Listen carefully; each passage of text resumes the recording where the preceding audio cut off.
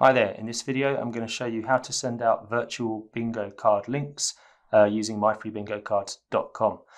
Now I'm going to assume you've got to a screen like this with some buttons here and with the bingo cards you want here. If you haven't used the site before then please watch our other video on how to use our bingo card generator uh, and then come back to this video when you've watched that. So choose the number of bingo cards you want and as soon as you pay you'll be taken to a page that looks like this.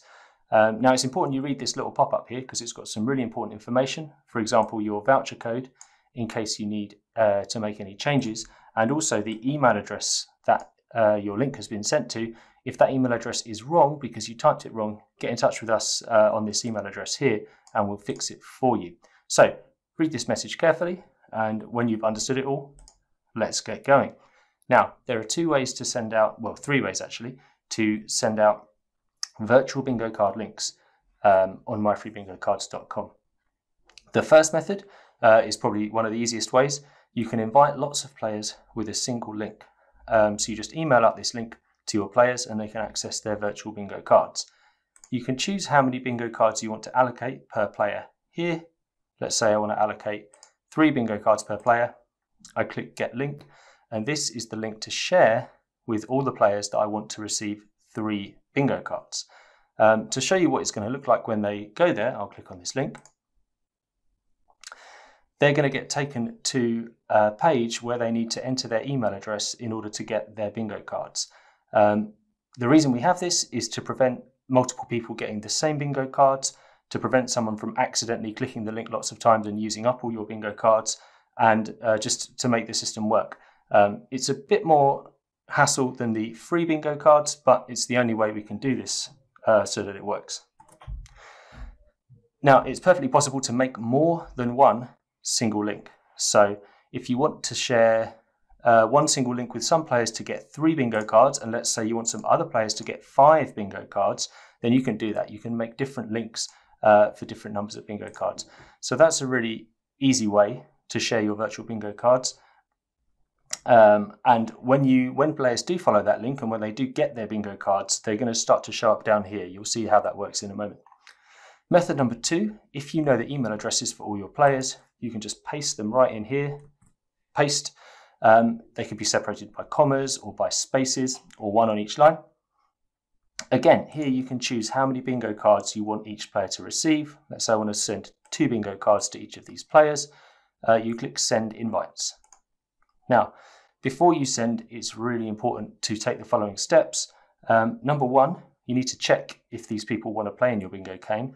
Uh, and then number two, only include the email addresses of the people who actually want to play.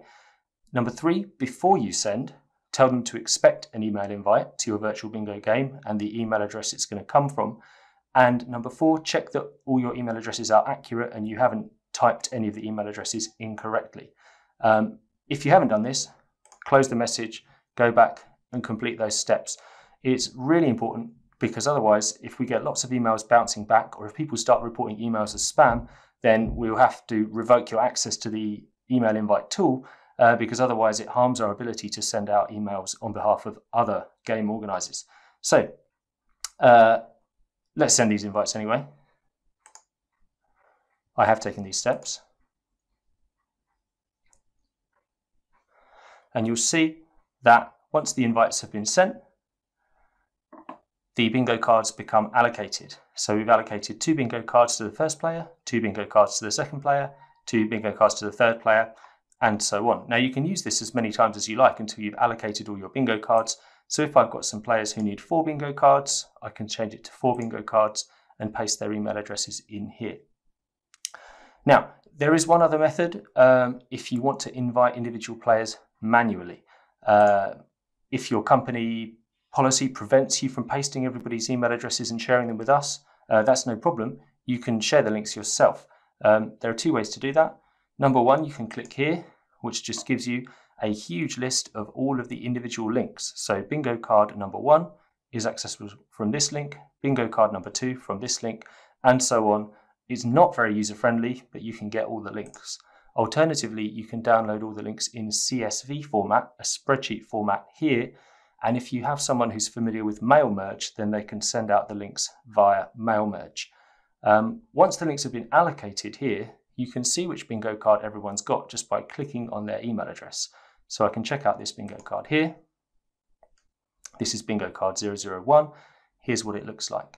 Players can mark their bingo card in the browser, or they can press Control P, print the bingo card, and in that case, the blue background disappears and the bingo card uh, will be printed at a sensible size. So players can print out their virtual bingo card or they can play in their browser. So I hope that's explained the different methods we have. We can invite lots of players with one link, pretty easy.